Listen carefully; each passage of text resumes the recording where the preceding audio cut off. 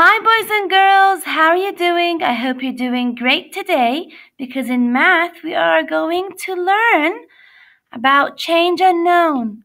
It is going to be word problems, which, which we were taking previously, but we're going to practice more. And this time it isn't going to be subtracting, it's going to be adding. Let's take a look inside together. Change unknown. Mary has four stickers. Pat gives her more stickers. Now Mary has eight stickers. How many stickers did Pat give Mary? Now remember, there are people in the word problem. Who are the people? Mary and Pat. How many students? How many people? Mary and Pat. Mary had four stickers. Pat gave her some more stickers, but they didn't say how many. But now Mary have has eight stickers. So overall, the answer is eight. And she had four to start with. How many students are there in the problem? There are two students in the problem. And how many animals are there? There are one, two, three, four different kinds of animals. We have monkey, butterfly, bumblebee, and a crab. So, what do you do? You put four at the beginning and then we're going to add because Pat gave her more stickers. More is adding. We are adding to the stickers that she has already. So put four at the beginning and eight at the end because it said now Mary has eight stickers. So the sum, the answer is eight. Now, how do we know the missing number, the unknown number? How do we know it? We put four in our mind and then we keep counting to get to eight.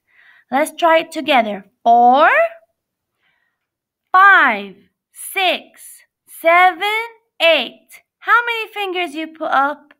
You put up four fingers. So the missing number is four. Four and four is eight. Great job, everyone. Let's take a look at the other example. Billy draws four red cars. Then he draws some blue cars. They didn't say how many, they said some. So he drew more. Now there are 10 cars. What do we do? Well, First, you know the answer is addition because it is how many. It's asking how many blue cars. Not how many more, not how many few, much fewer. How many is used in addition when it's asked in a question. What do we do? Can you think of it for a moment? Think of it. Read the question. Billy draws four red cards. Then he draws some more cards and then he has all 10 altogether. What is the missing addend? Are you thinking? Okay, let's show it together. Four is at the beginning because it's the number that was first and the number that we know that is there because he drew four first. Okay, so we put four at the beginning and 10 at the end because we now know how much he had all together. The missing number in the middle is 6. How did we get to 6? You put 4 in your mind and you keep counting till you get to 10. 4, Now count with your fingers. Count on. Four, five, six, seven, eight, nine, ten. You will see that there are ten at all together and the missing number is six. Look at your fingers. You can see there are six fingers. Six is the missing and unknown addend.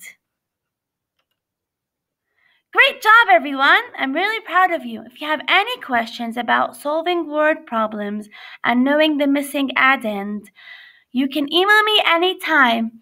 Bye! Take care! Love you!